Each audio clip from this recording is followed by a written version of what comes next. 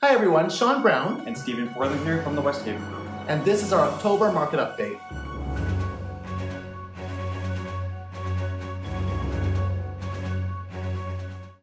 Vancouver home sales in September were down 49% compared to last September.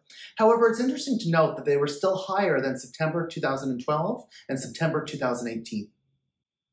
The benchmark sale price of a Vancouver detached house is down 8.8% since its peak in February. Townhouses and condos are lagging a little bit behind, down about 6.5% since their peak in March and April. This would indicate that it is still a good time to sell a townhouse or investment condo in the downtown Vancouver area. The Bank of Canada so far has raised interest rates over 3% this year.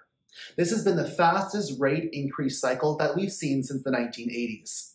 Prime rates are around 5.45% right now, and it does leave variable rate mortgage holders quite vulnerable as their mortgage payments have gone up quite a bit and still are likely to increase. This might mean it's worth considering selling your property now if the mortgage payments over the next 16 to 24 months might cause you some financial stress.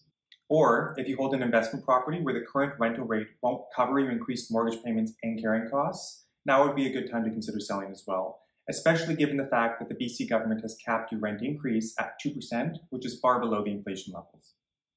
As borrowing capacity continues to shrink, larger down payments are needed, which isn't a bad thing so long as you, of course, have the money. Otherwise, buyers are going to have to target more modest properties. Or if a buyer is in a fortunate position, getting more help from family is also another option.